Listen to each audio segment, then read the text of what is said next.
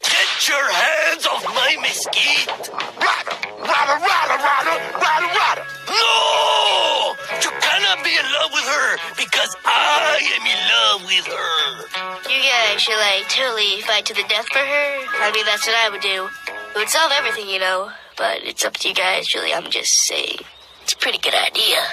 Yes, Don Gordito is right. We fight to the death like honorable men, no? Ah! Oh, and one more thing.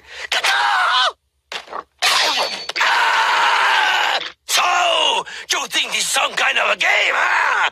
Well, trust me, this is no game.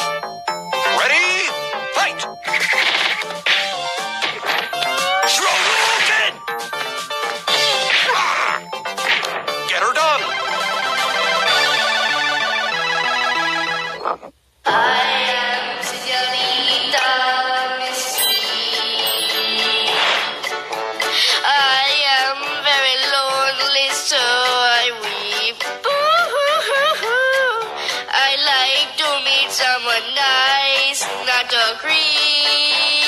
You boy, stop that singing! I own the rights to that song, and you will pay me muchos residuales. And you will not like that Juan beat, I promise you. Mamma mia!